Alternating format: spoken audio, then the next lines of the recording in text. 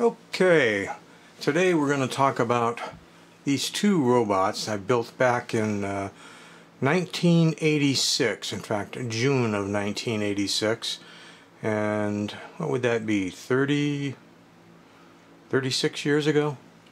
They both still work but what's unique about them is they use a single motor to perform two different functions.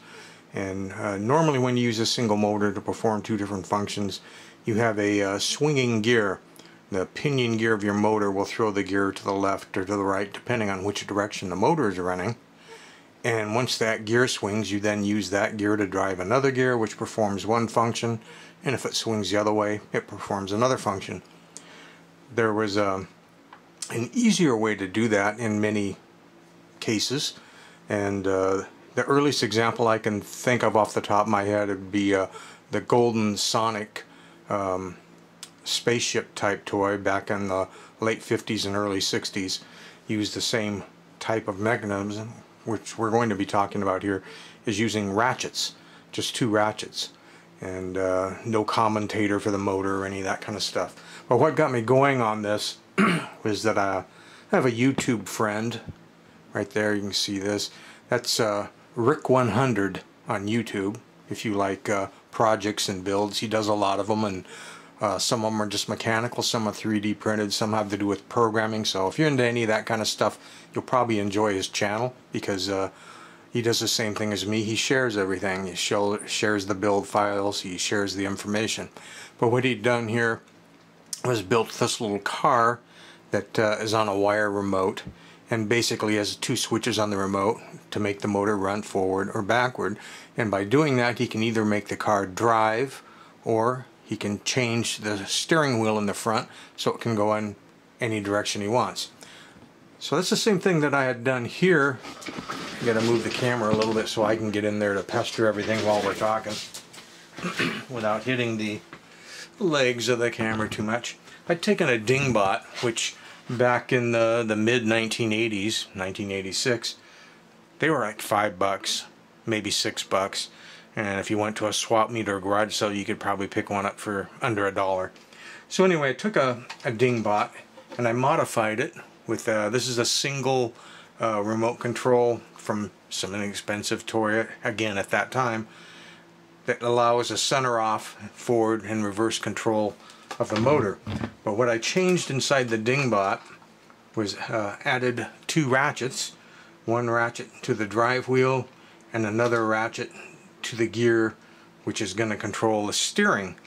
And uh, whichever direction the Dingbot's going to go in, whichever way this wheel is turned, the head turns on top. So the head indicates the direction that the toy is going to go. For example, this should be the uh, drive wheel on if I pull down on this. And it is. The wheel is going around. And if I push up, then it's uh, going to pick a new direction. Now the one thing that was a disadvantage about the Dingbot, and really only one thing, is the small gear down in there that drives this larger gear on the wheel. Those two should actually be reversed. You would want the gear that's driving this wheel to be the big one and the gear on the wheel to be the small one so that the speed ratio change between uh, selecting your new turn direction and your movement would be about the same. So in this case, if I pull back on this, the dingbot, if I can get this where it's not in the way, is going to go forward, as you can see. And it's going to do it in the standard way where the, the, the feet move and everything, as you can see. And now if I push up, I can select a new direction. Now it's looking over this way, so if I pull on it, it'll go over in that way.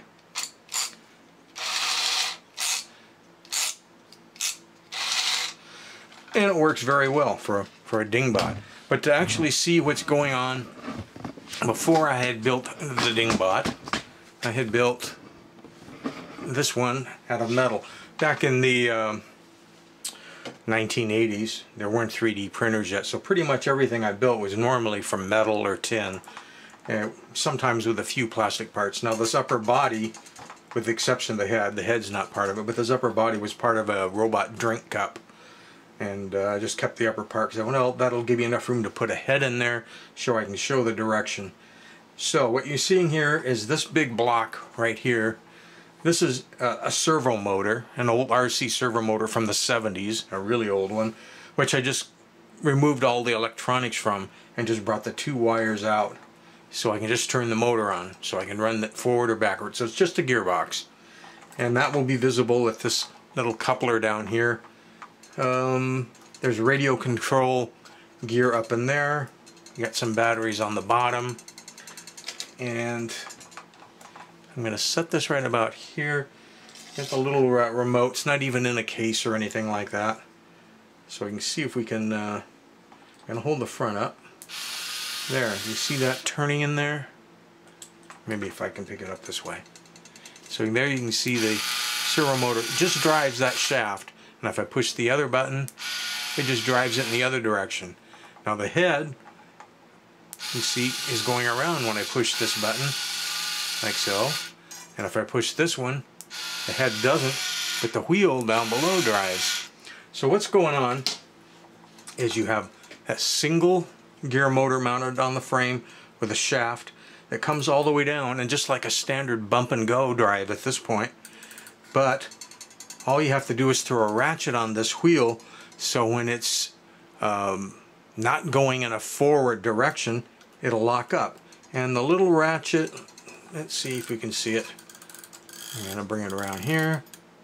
Is right there. See that little metal flap hits this gear? That's a ratchet. So this wheel can only turn in one direction. Now there's another ratchet up here. You can hear it clicking. That only allows the wheel to turn in one direction. And since the ratchets lock up in the opposite ways, that allows you to select, I'm going to turn the head, well, push the wrong button, there we go. So now the head is kind of facing more towards the camera, so if I drive, it'll go in that direction. Now I'm going to turn it, make it go backwards. Here we keep, maybe we can keep both in frame a little bit.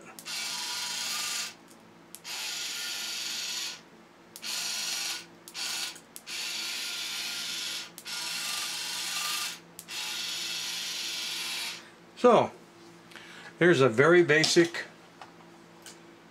example of using a single motor to perform two functions without using the swing swinging gear off the pinion type drive.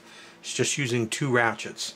And again, when you do it the other way, where the motor is actually part of the drive wheel down below, then you've got the, the issue of, of having to bring that motor wires up into a commutator for both wires to supply power to that motor so you can forward and reverse it. This, uh, this system eliminates all of that electronic part because the motor always stays stationary to the body. It never moves. And you just have the uh, simple drive to the wheel. Now you don't, if you don't need the upper head thing, then you wouldn't need to transfer the location of your wheel. In this case, I used, uh, these are metal gears. Again, back then everything was pretty much metal. So you can see this one is just in between the two to keep everything in sync so that the, the head will turn when, I, when the wheel turns so they are always facing the right direction. There's other ways you could do that. The shaft could come straight up. This motor could drive from off to the side from another gear. You could rearrange things in different ways. But um, Rick, if you're watching this video, and I hope you do, this just kind of gives you a little bit of an idea of a way to do it with some ratchets. If you want to try another one of your uh, miniature versions and go with some ratchets, I think you might enjoy it. It's a very simple build. And um, that's it. The modified Dingbot and the original metal one. I even have um, letters from Tomy because I had contacted them to see if they would be interested in making a Dingbot version or another robot version doing the dual drive. I knew it was nothing new. I knew they would know how it works and everything, so I wasn't looking for money. I was just throwing ideas out. And they actually wrote back. I've got, I think I've got four, maybe five letters. I know I have four letters for sure where we talked back and forth back in the 1980s. But uh, they weren't interested.